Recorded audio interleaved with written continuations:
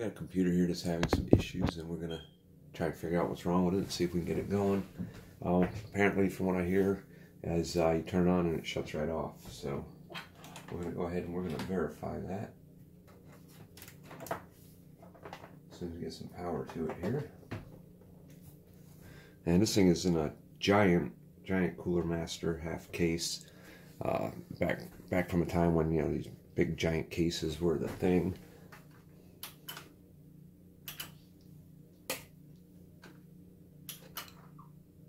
Oh yeah, it does. It shuts right off. All right.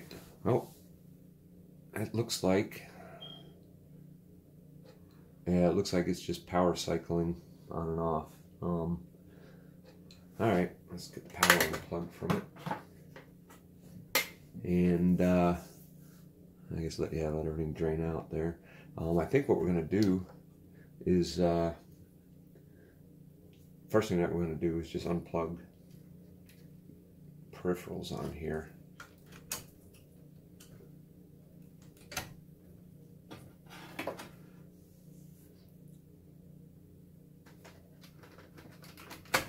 Although I doubt this is going to have much effect. Um,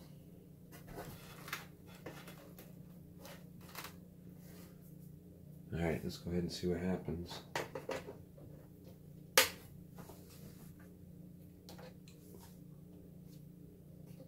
Okay.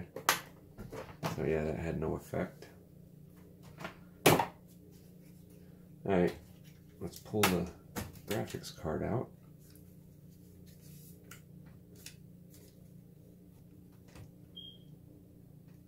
That's going to be easier said than done on this one. I got a sound card in here too that can come out.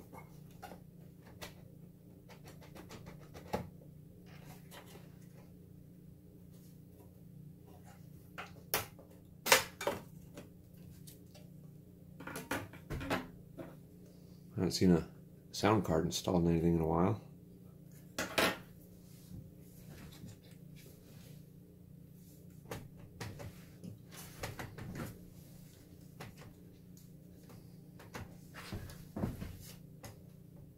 And this thing appears to have the lever missing to disengage this.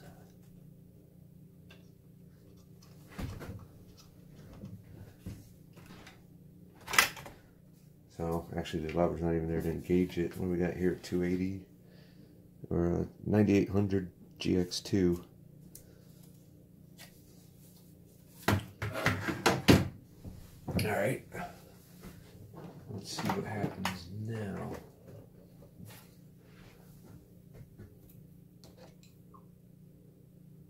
Okay. Get the same thing.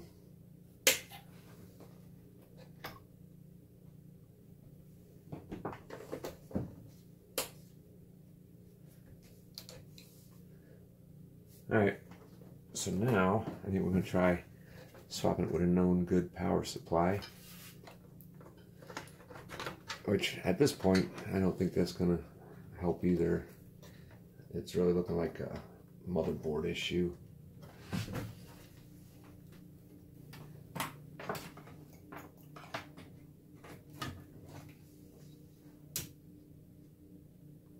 Alright, so we've got a known good power supply plugged in here. And absolutely no difference.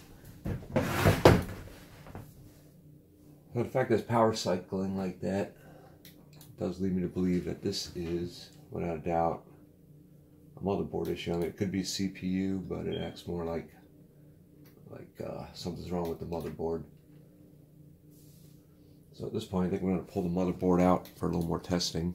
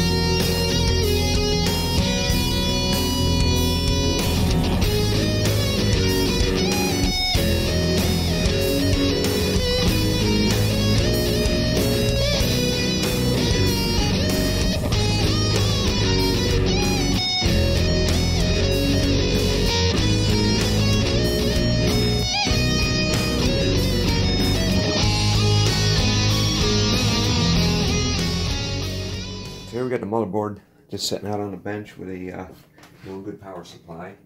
No peripherals are installed whatsoever, so we're going to give this a try again.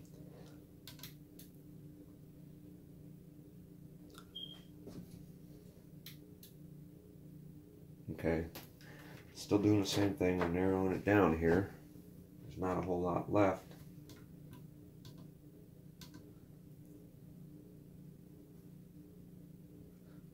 Wait for the power to bleed off. Let's pop out the RAM.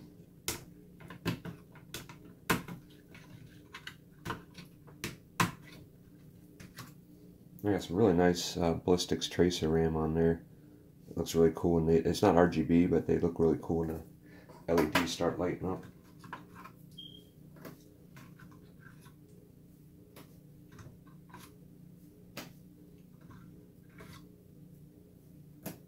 Alright. Doubt this is going to make much difference. Yeah, not at all. As soon as our power bleeds out here, we'll pop the CPU. Which, I mean, I guess it's a slight possibility it could be the CPU, especially since, you know, it's thermal paste on here is like extremely old. You can see it's just dry and crumbly.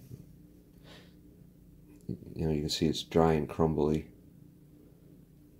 So, I doubt it, but you know it's worth a shot. Now, without a CPU, um, if that if that's not what's shorted out, or if that's what was shorted out, uh, you know you'll probably see this come up and just start flashing or whatever. It shouldn't power cycle the same way. So let's find out. Alright, and we still have absolutely no change whatsoever. Yeah, it's still power cycling. Alright, just a quick overview of what we were working with here. Anyways, this is a uh, Gigabyte motherboard. This is a high-end Gigabyte board. Uh, GA EX58 UD5. Um, it's got you know nice heat sinks on on the VRM MOSFETs, and uh, Northbridge and Southbridge got nice heat sinks on them. Uh, plenty of SATA ports on it um, three banks of RAM. And I mean, it's just a nice, nice board. Obviously, something went wrong with it. We'll see if we can figure out what. Uh, this did have installed a uh, first gen i7. Um, I don't know if you see it on there, Core i7 920. And a buttload of uh, this Ballistix Tracer DDR3.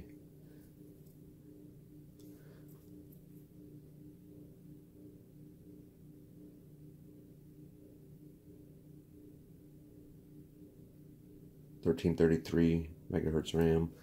So not the fastest, but still pretty decent.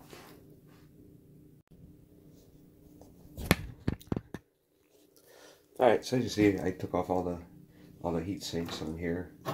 Uh, same reason with the CPU, you can see the paste that's on there is, is I mean, it's hard on there. The, the pads still look good. They feel nice and soft yet, but the you can see the thermal paste on here is still, I mean, it's really hard and crunchy, so that's going to have to be replaced. Um, the thermal pads themselves still feel nice and soft. But anyways, I got those off. I checked everything. Everything looked good. So I went through and uh, popped the battery out here and um, held in the, the CMOS button again.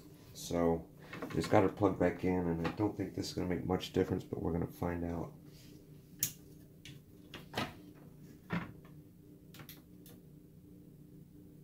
Okay. So obviously something is not quite right with this board.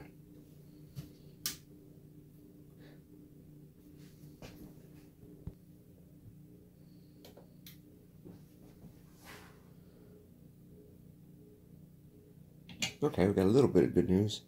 Um, by popping out the CMOS battery and then holding in the uh, CMOS clear button, uh, we were able to get it to this point here. Um, it hangs up at 69, so we got an error code that we can look up. And uh, you can see it starts to read the RAM, but we get no display on the screen. So we're going to go through and we're going to uh, look into this a little bit further and see if maybe it's a corrupt BIOS issue.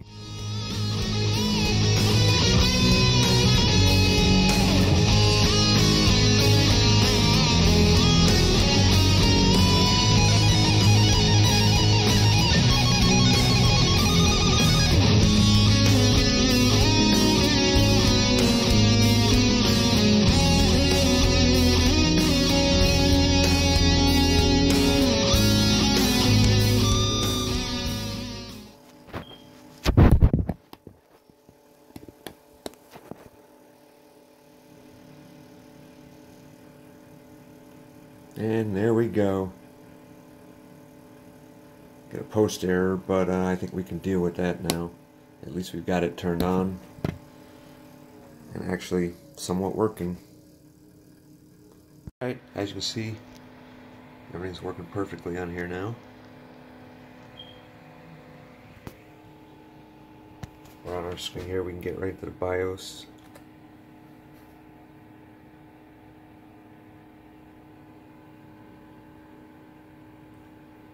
Which means that we should be able to put this back together and uh, everything should just work now. Uh, what we had to do was, uh, this was, this one was a tough one. I pulled the CMOS battery out and there's a uh, button back here for clearing the CMOS and um, I had to actually put power to the to the board. I had, to pull this uh, battery out and then uh, hold that button in a few times, and I got it to where it would come up to you know a couple different errors on here it would hang up on, and uh, eventually it must have because uh, it says a dual BIOS on it. You can see right there, there's two BIOS chips, and it must have gotten to the point where it uh, actually backed up the original BIOS because one of those is a backup BIOS in case you, you screw up your main one. And uh, for some reason it wasn't backing it up and we had to kind of play around and force it through but we got it now so we're going to put this back together and, and uh, make sure everything works on it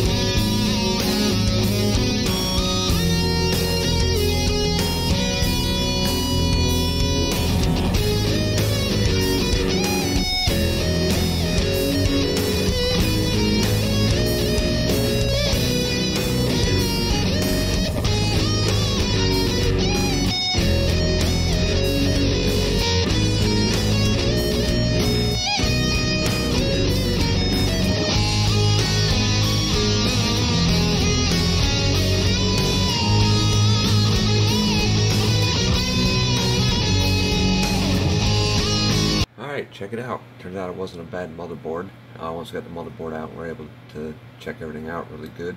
Um, realized that the BIOS was uh, corrupt on it, so we got the BIOS to, to, It's a dual BIOS, fortunately, so we got we were able to uh, restore the original BIOS on it.